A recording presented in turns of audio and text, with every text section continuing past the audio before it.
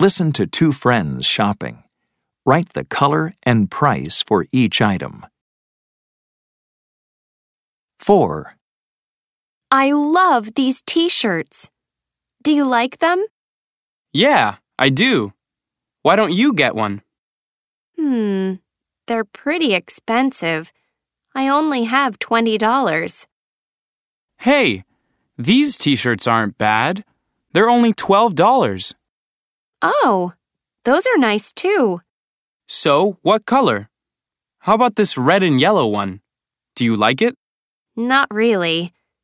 Hey, all these shirts are red and yellow. I think that's why they're on sale. So, do you want one? No, let's go.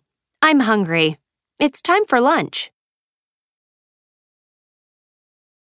Listen again.